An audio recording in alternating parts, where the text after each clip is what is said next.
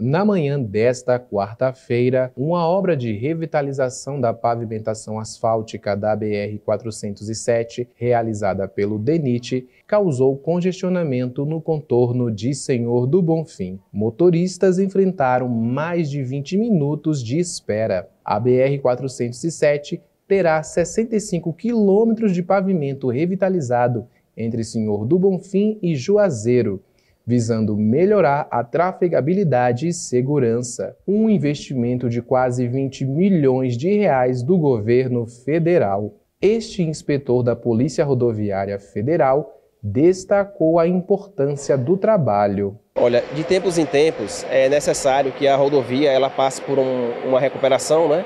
É, e assim, esse trecho da BR-407 ele já estava apresentando algumas, alguns defeitos graves no pavimento, né?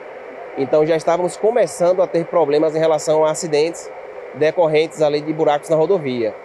E então assim, essa, esse investimento, né, feito aí pelo DENIT, ele chega em um momento muito oportuno para toda para a gente que faz a fiscalização e para todas as pessoas que utilizam essas, essa rodovia BR-407. Nós sabemos que isso traz transtornos, né? É, principalmente quando chega no perímetro urbano, como é o que está acontecendo no momento, onde a empresa está fazendo o recapeamento na área urbana de Senhor do Bonfim. É um trecho consideravelmente longo, são alguns quilômetros né, de área urbana, e isso impõe que uma das faixas esteja sempre interditada. E isso aí, assim, por vezes, ocasionam é, lentidão, né, engarrafamentos e filas, né, é, porque só pode liberar um lado da pista, são filas que demoram aí alguns, alguns minutos, né. Isso, por vezes, pode causar, por exemplo, a pessoa que às vezes já sai no horário apertado para pegar um voo, né? É, de repente isso aí pode representar a perda do voo, né?